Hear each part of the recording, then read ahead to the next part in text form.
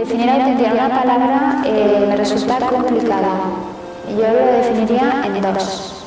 En este caso, éxito asegurado. Gran.